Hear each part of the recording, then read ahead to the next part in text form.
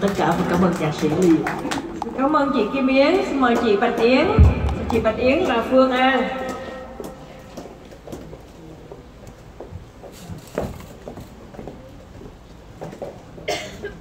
mày lá một thu rơi hơi lạ áo mùa thu rồi trời đã